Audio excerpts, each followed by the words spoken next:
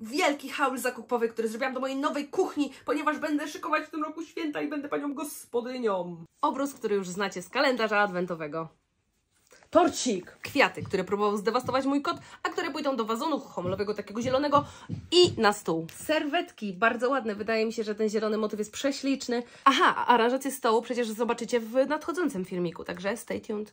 Kubeczek o rozmiarze dosłownie w sam raz, bo mąż mi już nie powie, że za dużo tych kubków znosisz, bo teraz mam miejsce i będę kupować każdy kubek, który będę chciała lampeczki, którymi owiniemy wieńce, które pójdą na drzwi, żeby też coś błyszczało. Coś, o czym zapomniałam, że to kupiłam, ale to jest estetyczne dla mnie po prostu niebo. Coś do mojej nowej kuchni właśnie. Tu macie taki koszyczuś i tutaj macie na mydełko do rąk,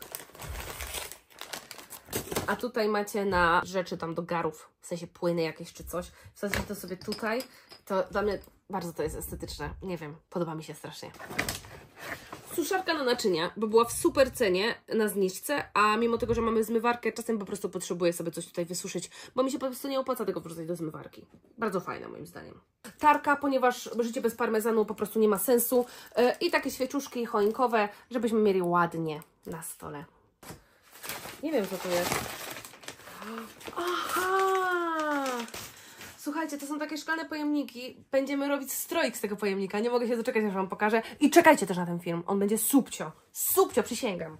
A tutaj dwie bombki. E, tutaj jest dla coffee lover, a ja jestem coffee loverem i mój mąż też, więc mam dwie takie. I tutaj jest taka e, ładna, bo mam dwuletnią córkę, ona będzie tym totalnie zachwycona. E, nie wiem, gdzie jest moja choinka. Jak ją znajdę, to pewnie to powieszę na niej.